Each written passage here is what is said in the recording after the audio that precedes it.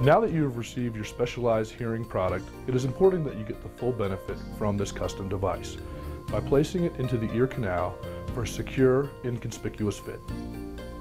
Correctly inserted, the plug will look like this in the ear.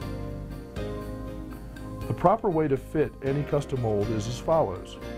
Take the top part of the plug and point towards the nose. Slowly roll plug backwards until it drops into the fold of the ear as shown.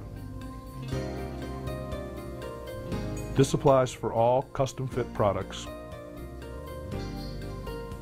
To remove a custom fitted earplug, place finger at the top of the mold, pop from the ear, and slowly roll forward.